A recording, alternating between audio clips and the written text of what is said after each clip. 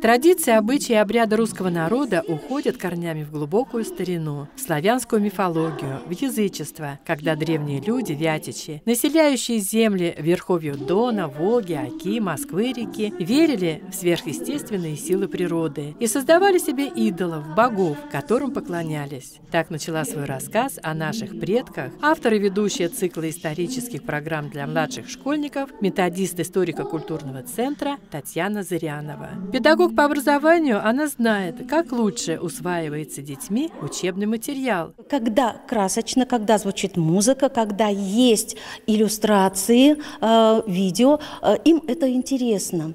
Э, сейчас ведь опять обращение к народной культуре. А то, что язычество было 900 лет назад, оно и сейчас существует, оно и сейчас в наших праздниках. И слава Богу. Ребята внимательно слушали и смотрели за сменой кадров на экране, которые рассказывали, каким богам древние славяне-вятичи верили и поклонялись.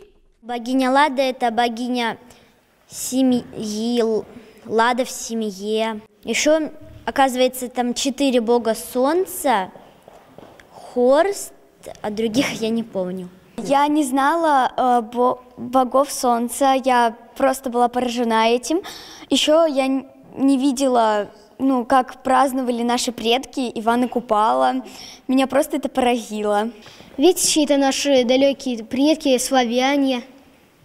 Они жили в всяких землянках, жили, делали всякие плотины, учились выживать.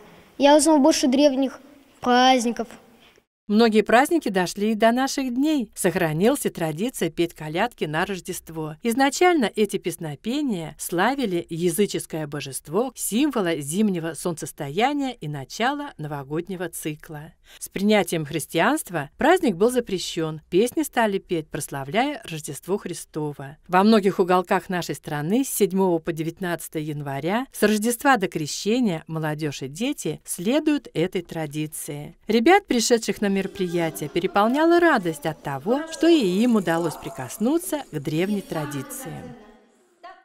Ой,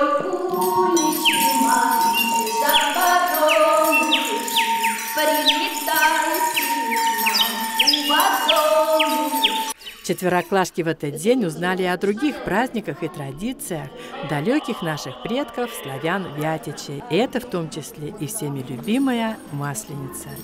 Людмила Медведева, Алексей Руднев, Анастасия Нурконова, Видное ТВ.